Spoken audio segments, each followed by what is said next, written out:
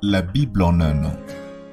1 Samuel chapitre 29 à 1 Samuel chapitre 31. Psaume 118, 1 à 18. Proverbe 15, 24 à 26. Lecture du 21 mai.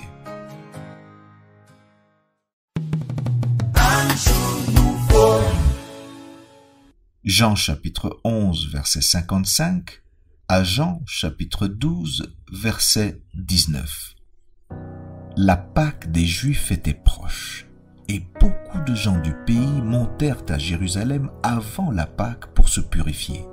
Ils cherchaient Jésus et ils se disaient les uns aux autres dans le temple, Que vous en semble?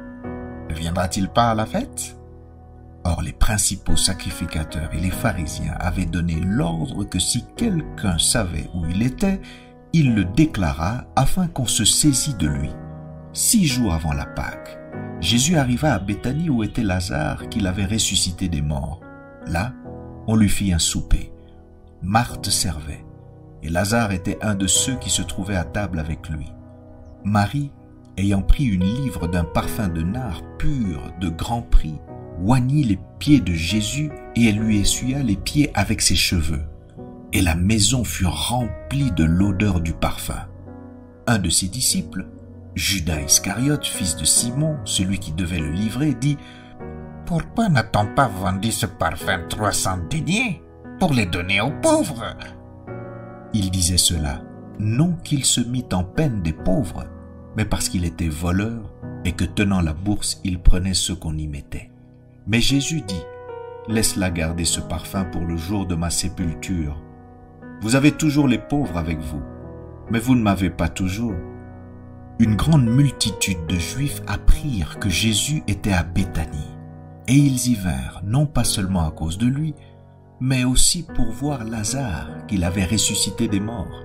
Les principaux sacrificateurs délibérèrent de faire mourir aussi Lazare parce que beaucoup de Juifs se retiraient d'eux à cause de lui et croyaient en Jésus.